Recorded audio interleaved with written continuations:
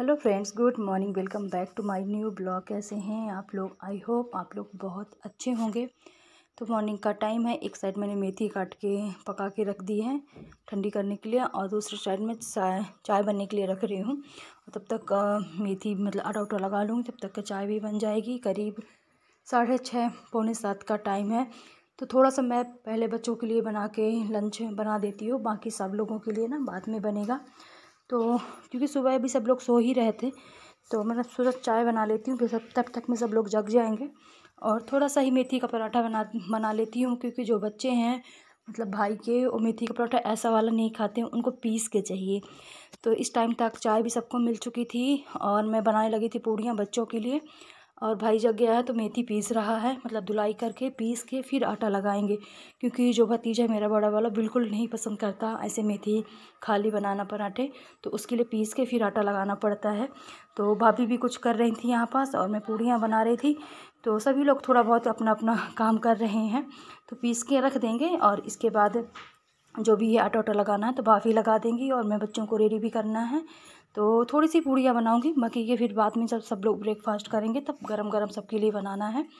और साथ ही साथ है जितना हाथ चल रहा था, उससे ज़्यादा तो मुँह चल रहा था, सबका बातें हो रही थी, क्योंकि रोज़ तो मिलना होता नहीं और फ़ोन में इतनी ज़्यादा बातें भाई से या मतलब कोई नहीं कर पाता। तो यहाँ पास हो गया, दुनियादारी की सब भी बातें जो हैं वो चल रही थी और आपस में और खाना भी बन रहा था ब्रेकफास्ट भी। एक तो क्या है कि रोज़ कोई मिलता भी नहीं है। आजकल के टाइम में ना किसी के पास भी बिल्कुल भी वक्त नहीं है। तो एक तो भाई भाभी दोनों ना जॉब करते हैं, जिसकी वजह से उनके पास टाइम नहीं होता अधिकतर आने के लिए। बस थोड़ा सा वक्त निकाल के आ गए हैं। तो सभी लोग मिल के ना यहाँ पास लगे हुए थे। तो अच्छा भी लगता है ना किचन में अपना काम भी करते रहो, बात भी होती रहे सबसे। और मम्मी भी जग गई थी, बच्चे भी इस टाइम तक सभी लोग करीब करीब जग ही गए थे। और बस भाभी लगी हुई हैं अपने कामों में, हम लोग अपने काम में मम्मी उधर लगी हुई हैं। अपने कामों में। मतलब जितने लोग होते हैं ना, घर में उतना काम बढ़ जाता है। ऐसा नहीं है कि मैं अकेली होती हूँ तो अकेले घर का काम निपट जाता है। और अगर चार लोग हो जाते हैं ना तो चार लोग ही घर के कामों में लगे रहो। काम, जितने लोग होते उतना फिर काम भी बढ़ जाता है। तो जो काम होता है मेन, सुबह का होता है ब्रेकफास्ट। अगर ब्रेकफास्ट बन गया ना तो फिर पूरा घर का काम करने में बहुत वक्त नहीं लगता। और सब लोग ब्रेकफास्ट कर लें तो उससे भी सरल कुछ हो ही नहीं सकता। तो चलिए, बच्चों के लिए बन गई हैं पूड़ियाँ, बाकी का आटा मैं रख दूँगी और इधर भाई ने पीस के भी रख दिया है, साथ ही साथ चटनी चटनी में मैं मिर्ची डालना भूल गई थी, मैंने पीसा था। इसके बाद एक दोपहर की क्लिप है, करीब तीन बजे का। तो पहले हम लोग कुछ काम था तो बाहर गए हुए थे तीन लोग, फिर आके खाना पीना खाएँ और सभी लोगों का खाना पीना अभी करीब करीब हो ही चुका, अंजू बाकी हैं मतलब जो भाभी की बहन है, वो पराठा बना रही हैं किचन में, बाकी सब लोगों का खाना पीना हो चुका है। और इसके बाद फिर कहीं जाना है, थोड़ा बहुत काम है, इसके बाद फिर हम लोग चल दिए हैं। तो पहले गए हुए थे कैंटीन, भाई को कुछ सामान चाहिए था। तो उस वाले कैंटीन में ना अधिकतर सामान था ही नहीं, थोड़ा बहुत मिला था तो फिर हम लोगों ने खाना पीना आया खाया। और क्योंकि डेढ़ बजे बंद हो जाती है, फिर चार बजे करीब खुलती है तो फिर दूसरे कैंटीन में हम लोग जा रहे थे यहाँ पास कि जो भी थोड़ा बहुत सामान मिलेगा, जब उतने दूर से आए हैं ना, कुछ ना कुछ तो लेके ही जाएँ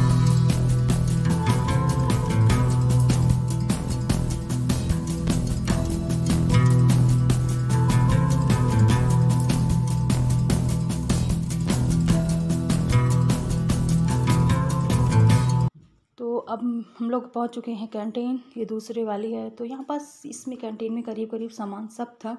तो मैंने अपने लिए ज़्यादा कुछ नहीं लिया, बस एक दो चीज़ लिया, बल्कि भी इन लोगों को जो लेना था, क्योंकि फिर कार्ड में पैसे भी होने चाहिए। तो इन लोगों को मतलब क्योंकि हम, मैं तो अगले महीने भी अपने लिए सामान ले लूँगी जो चाहिए, और फिर लोग तो रोज़ रोज़ आएँगे ही नहीं। तो एक दो आइटम से ख़त्म था परी के लिए शैम्पू उसी के लिए तेल तो दो तीन चीज़ मैंने लिया है, और बाकी का जितना भी कार्ड में जो भी पैसे था तो इन लोगों ने मतलब दिला दिए हैं, क्योंकि अब उतने दूर से आना और फिर कुछ ना लेके जाना तो कोई मतलब है नहीं। तो ये बाहर रख लिए हैं सामान लेके, जो उतना भी सामान लिए हैं। एक बार का पहले हम लोग कैंटीन से लेके गए थे सामान तो वो घर में रखा हुआ है। और रास्ते से आते आते यहाँ पास एक शॉप पड़ती है मतलब रोड के किनारे। अच्छी अच्छी चीज़ें मिलती हैं। ऐसा नहीं है कि रोड के किनारे की जो शॉप है तो यहाँ अच्छी चीज़ें नहीं हैं। बहुत प्यारी प्यारी चीज़ें मिल रही थी तो वह मतलब पाँच ही इन्होंने पिल्लो लिया और पाँच कवर लिया, यही जो अभी आप लोग देखे हैं। और और एक दो चीज़ उन्होंने देखा मतलब सभी चीज़ें इतनी ज़्यादा महँगी नहीं थी, सही थे तो कवर और पिल्लो जो मिला के करीब फाइव हंड्रेड का पड़ गया था और भी कुछ थोड़ा बहुत चीज़ें देखे।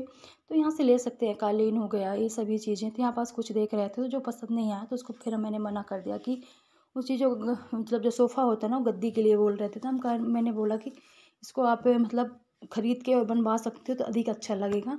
और यहाँ पास गाड़ी में रख रहे हैं सामान, फिर चलते हैं। मतलब थोड़ी थोड़ी शॉपिंग हो गई थी, फिर आगे चल के भाभी को कुछ सामान लेना था, जैसे उनको स्वेटर लेना था तो फिर वो लिए। और इसके बाद हम लोग घर आ चुके हैं। ये टैडी लिए रास्ते में आते आते भतीज के लिए। और यहाँ पर से मस्ती कर रहा है। और पूरा सामान रख दिए कि उन को सेट करना है और इसके बाद जैसे फ़ोन उठा लो ना तो ये एकदम फ़ोन में देखता रहता है। और यहाँ पास भाभी और मम्मी लग गई हैं खाना बनाने। में मम्मी आटा लगा रही हैं और भाभी ने सब्ज़ी बनाया है सूखी। अभी थोड़ा सा निकाल देंगी सूखी और उसमें पानी डाल देंगी। इसके बाद नेक्स्ट मॉर्निंग की क्लिप है। तो मैं यहाँ पर सबसे पहले चाय रखी हूँ बनने के लिए, साथ ही साथ भिंडी की सब्ज़ी और बच्चों को पूड़ी। तो सब्ज़ी मैंने थोड़ा सा ही बनाया सिर्फ़ बच्चों के लिए बार तो बाकी मैं फिर बाद में देखती हूँ क्या बनाना है। बच्चों को मैं पहले स्कूल भेज देते हैं और इसके बाद जो भी वो फिर बाद में बनेगा, चाय साय सब लोगों का पहले हो जाए और बच्चों का पैक कर देते हैं लंच। तो मतलब टिफ़िन उनका दोनों का पैक कर देती थोड़ी सी भिंडी की सब्ज़ी बच गई है तो भतीजों के लिए हो जाएगी। बाकी की आलू की सब्ज़ी बनाऊँगी पानी वाली क्योंकि ग्रेवी वाली सब्ज़ी थोड़ा सा पसंद करते हैं। बाकी के सूखी सूखी सब्ज़ी कोई भी ब्रेकफास्ट में इतना ज़्यादा खाना पसंद नहीं करता। तो चलिए फटाफट बच्चों का लंच पैक कर देती हूँ और साथ ही साथ चाय भी बन गई है। तो आज जल्दी जग गई थी मैं करीब, पौने छः के पहले ही जग गए थे तो जल्दी बन गया और सब लोग टाइम से जग गए थे। तो यहाँ पास भाई भी आ गया था तो वो बोल रहा था ना, उसको ज़्यादा चाय वाली पत्ती वाली जो चाय है ना उसको नहीं चाहिए। उसके लिए सिंपल मतलब वो कम चाय पत्ती की चाय पीता है। तो उसके लिए मैं बनने के लिए रख देती हूँ मतलब अलग से और हम सब के लिए अलग, क्योंकि उसको मीठी भी चाहिए चाय और हम, मैं जो बनाती हूँ ना वह मैं बहुत कम मीठी चाय बनाती हूँ तो उसको नहीं पसंद आती तो दोबारा उसके लिए रखी हूँ बनने के लिए। और चलिए तो सबको मैं फटाफट दे के आती हूँ, चाय ठंडी हो जाएगी।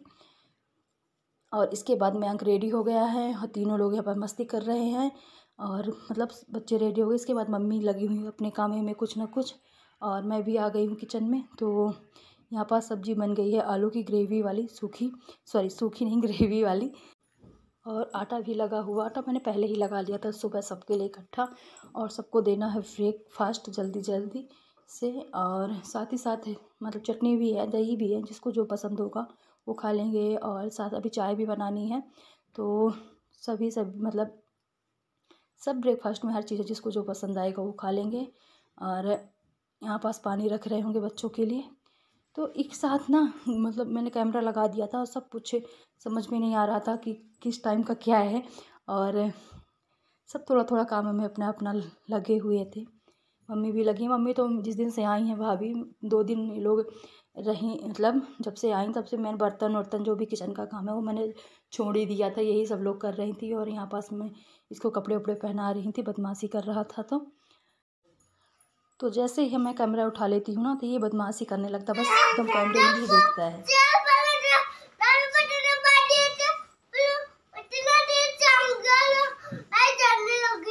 ओहो।